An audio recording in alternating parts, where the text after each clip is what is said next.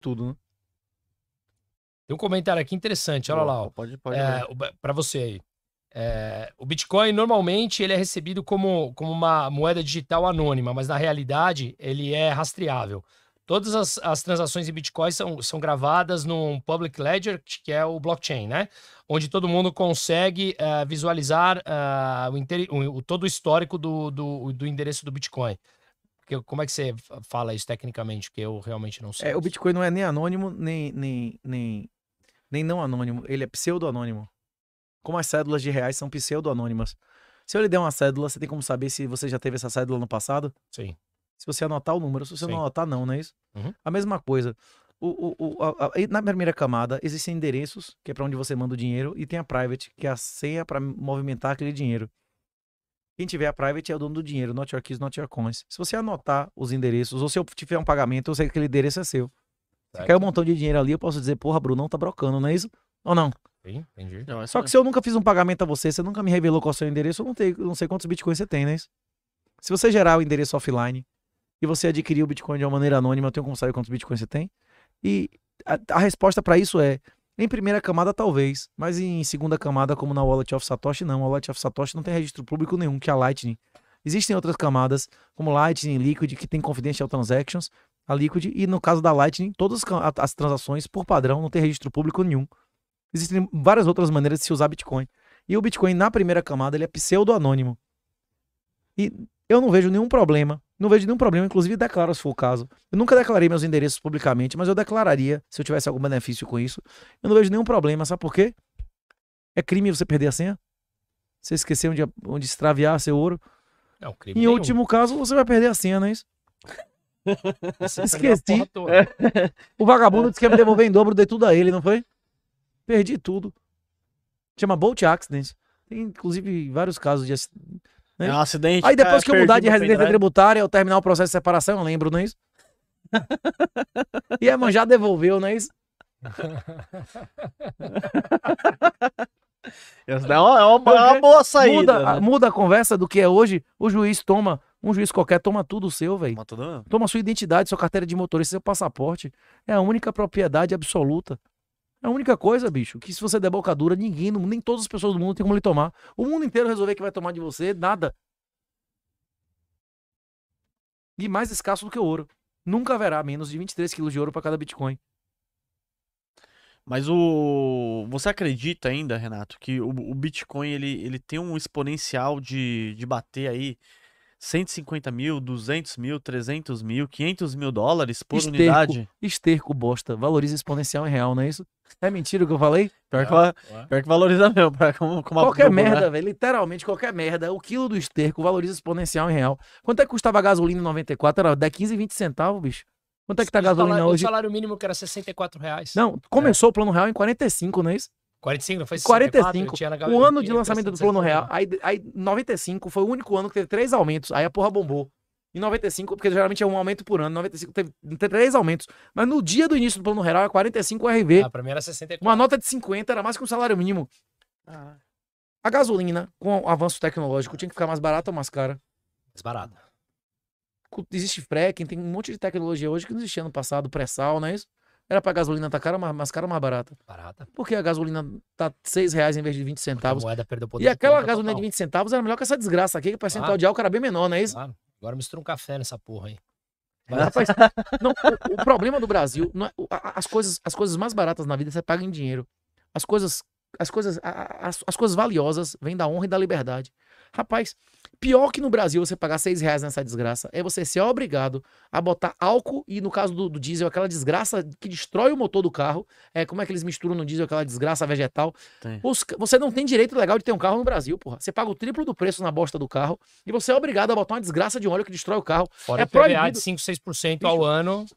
O seu sangue não é seu, você não tem direito legal de vender seu sangue. A sua gala não é sua, você não tem o direito legal de vender seu sêmen nesse país. Seu corpo não é seu, bicho, que desgraça é essa? Hein? Sim. Você vai financiar uma desgraça dessa? Você, se você quer, você quer submeter, os caras já submeteram seu corpo, sua mulher, seu filho. Você ainda quer dar mais poder a esses caras? Hein?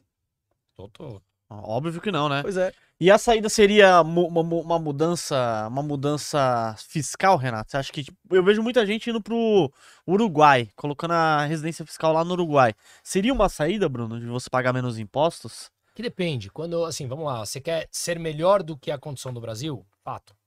Claro. Paga menos imposto. Mas o- o- a mensagem do Renato, o que, o, que ele, o que ele prega, é que mesmo assim você vai estar, mesmo que em menor escala, continuando a participar do sistema. Você continua sendo rastreável, Sim. agora para o Uruguai, ou para o Paraguai, ou para os Estados Unidos. Eu acho muito melhor do que Brasil, comparativamente. Vamos comparar, né? Pô. É, é, lixão com algo melhor, o que, que é melhor, né? É, agora, para estar fora do sistema, é o que ele fala. Aí ele não vê esse, esse outro tipo de alternativa. Repito, é, eu, por exemplo, tenho estudado isso. Eu tenho cidadania espanhola, mas eu tenho estudado é, a possibilidade de Uruguai, ou Paraguai, Sim. etc e tal. Mas, mesmo assim, você continua suscetível à rastreabilidade. Inclusive, várias pessoas no evento. Tinham três empresas ali, você viu? Tinha um brother do Uruguai, o Sim, Uruguai ele, Hub. Tinha também. o, o Orreda e a outra escritório do Paraguai. Sim. Rapaz, hoje em dia, com 2, 3 mil dólares, em 15 dias, você tem residência no Uruguai ou no Paraguai. E esses Uruguai, Paraguai, eh, Panamá e El Salvador é land tax. Tá na, na- na legislação do país que eles limitam a tributação às atividades no país. Se você tem residência lá e tem lucro aqui, eles não tributam. Hum, Inclusive, essa galera que fica brincando de Isso. comprar e vender na Binance, Aliás, terminou de editar lá o meu, Ah. meu, docu- meu documentário quando eu fui para o Salvador, inclusive. E a gente, eles acabaram gente de mudar land disso, sim. tax. Vou subir, vou subir acho que semana que vem lá no, no, no meu canal. Você foi lá na, na Máxima, na comunidade Bitcoin lá do Cheguei Gão? perto, cara. Não, tem, um, tem, um, tem um trecho ali que depois dali é, É tava, pepino puro. é, era, é, tava difícil Mas de... você tinha contato com o Hugo? Não.